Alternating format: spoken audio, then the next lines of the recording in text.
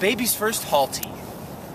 So this is a head collar put on for the very first time. This is called quick and dirty head collar training, all right? You stick it on the dog, start feeding, see what happens. Because the tool is worn right on the, the muzzle of the dog. It can be rather uncomfortable, I imagine. Especially as the dog's getting used to the sensation. I mean, can you imagine if you had to wear one of these on your face? It might feel kind of weird. And then have someone attach a leash to your chin and pull you around like a pony. It might feel kind of strange. So, let's see how she does. Good girl. So you see the head flicking, the head twitching? So all of that is new behavior that is a side effect of the head collar, and it should decrease over time as she gets used to wearing the device. Good girl.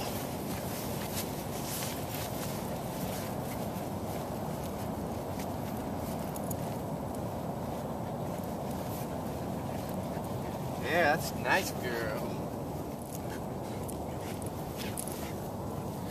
So you'll see a lot of the head moving. Sometimes you'll see dogs dive into the earth to try to get it off their face.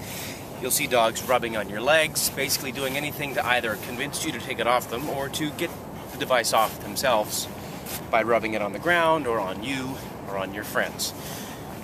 Fret not.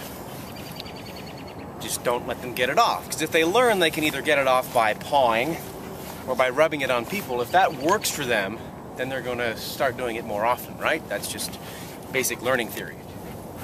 And uh, I shouldn't have to say this, but when you're using this tool, there's a tension and a release part of this, there's a pressure thing.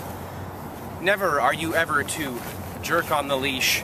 This is not used like a training collar. All right, you're using as little pressure or as little tension as possible to influence the dog, right? So you're guiding the dog through space. So when I want to turn, I can just turn and the device the device kind of suggests movement. All right, so I'm not yanking on it, pulling on it. When you are walking with your dog on this device, on a head collar, if your dog's on your left, you want to make sure your leash is draping this way, towards you, not over here. So when you're walking, you don't want the leash over here. You want the leash on your side. All right?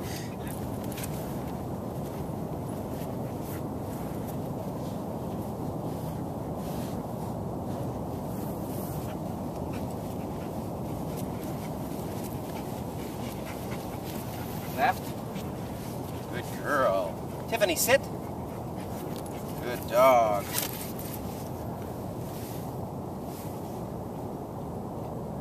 Let's go. Tiffany, left.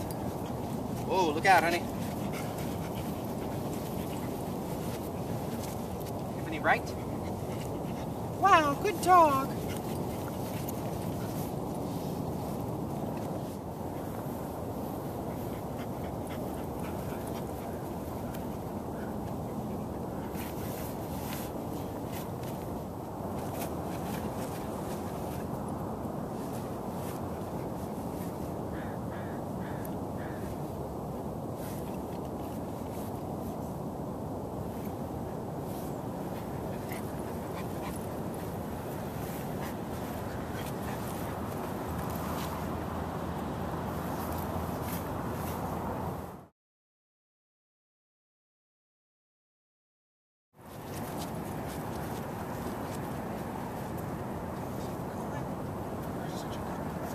That looks so that looks so good right there. Excellent.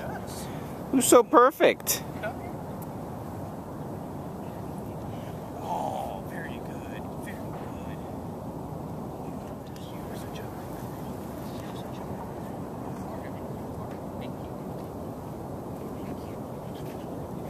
Come over and sit again? Come on. Good girl. All right, so what we'll do now, since she's doing so well, I want to end this session on a good note, and I want her to get a bit more exercise. What we're going to do is we're going to leave the head collar on, but we're going to take the leash off of the head collar. We're going to put the flexi leash or the retractable leash on her harness. So she's going to be wearing the device, but engaging in activity she likes. So hopefully they'll get a little bit of a classical conditioning bleed that happens there, all right? So she's wearing the device, which then leads to running around and having fun. She's going to get used to having or engaging in an activity while she's wearing the device. There'll be less pressure on her because there'll be no leash attached. So let's see how that works out. What is that?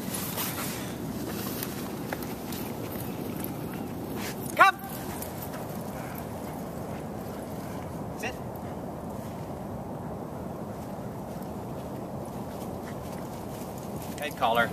We're not clipped to the head collar, we're clipped to the harness. Uh, her dad, her owner, her guardian, whatever, and I were just talking about recall. Uh, he was recently in, uh, I believe, a tennis court, fully fenced area. She was off leash. She would not come to him. All right, so we got to work on the recall. All right, let's work on that. She's on leash, more control. Let's go.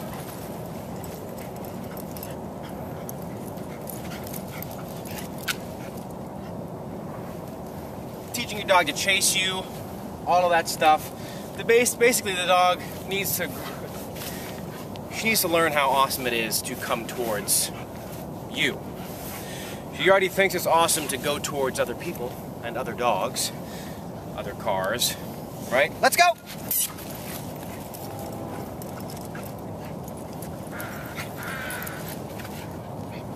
Come here.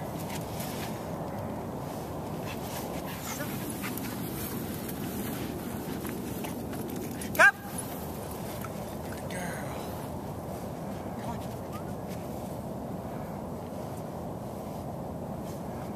All right, so that'll conclude our lesson for today. Uh, maybe we'll get to see some Tiffany action next week. It's now Friday. We've been working together for about four days. Total of about, you know, two and a half hours. Um, and I think she's doing pretty well. So thanks for watching.